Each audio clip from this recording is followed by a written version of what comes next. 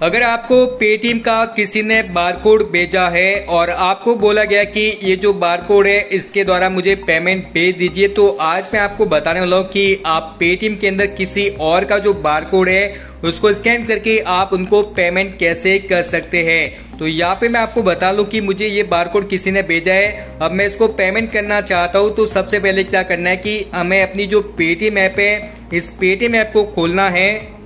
और जैसे ही हम यहाँ पे पेटीएम ऐप को खोलते हैं तो यहाँ पर नीचे आते हैं तो यहाँ पे हमें एक ऑप्शन मिलता है, जहाँ पे लिखा है, स्कैन एंड पे तो आपको इस पर क्लिक करना है। अब जैसे ही आप इस पे क्लिक करते हैं तो यहाँ पे आपको बारकोड को स्कैन करना होता है, परंतु आपके पास कोई अभी बारकोड नहीं है, आपको एक फ़ोटो भेजा गया है। अब उस फ़ोटो को या तो आप व्हाट्सएप से डाउनलोड कर सकते हैं, जो कि बारकोड आपको भेजा है, जो कि आपको क्यूआर कोड भेजा है, या फिर आप इस क्यूआर कोड का जो स्क्रीनशॉट है, वो ले सकते हैं, और स्क्रीनशॉट लेने के बाद अब यदि आप उसको पेमेंट करना चाहते हैं तो यहाँ पे आप देख सकते हैं कि आपको ये जो एक गैलरी जैसा आइकन दिया हुआ है, आपको उस पर क्लिक करना होता है। अब जैसे ही आप इस पे क्लिक करते हैं तो यहाँ पे आपको एलाउ पे क्लिक करना होता है और वापस एलाउ पे क्लिक करना होता है और वापस आपको ओके पे क्लिक करना होता है। अब क्या होगा कि आपकी जो गैलरी के अंदर आपको जो भी किसी ने